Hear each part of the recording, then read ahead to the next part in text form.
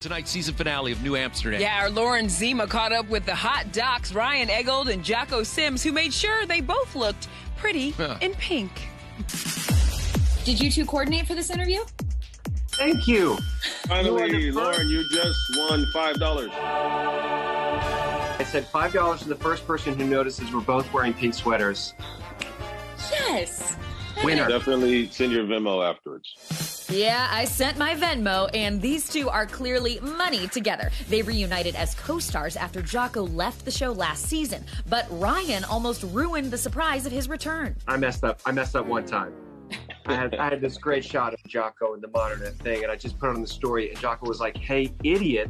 People don't know I'm on the show." I was like, "Oh yeah." Delete. And he, he deleted it. And I was like, well, you can't just delete it. And so he reposted and put season two. I was like, oh God, this is a mess. I'm offering your promotion. Deputy Chair of Surgery.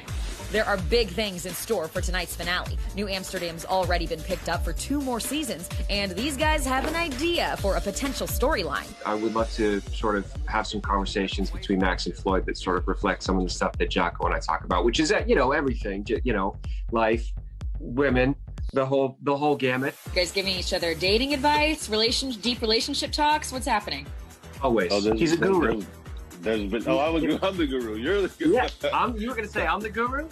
I don't know what yeah. I'm doing. I'm I'm flailing. Jocko, Um, let's let's have a therapy moment. What does Ryan need to be doing that he's not doing? We've derailed. Listen, let's just tell them Jocko and I are together. We're having an affair, and I just feel like we should be honest about it. So there, said it, done. E- ET exclusive.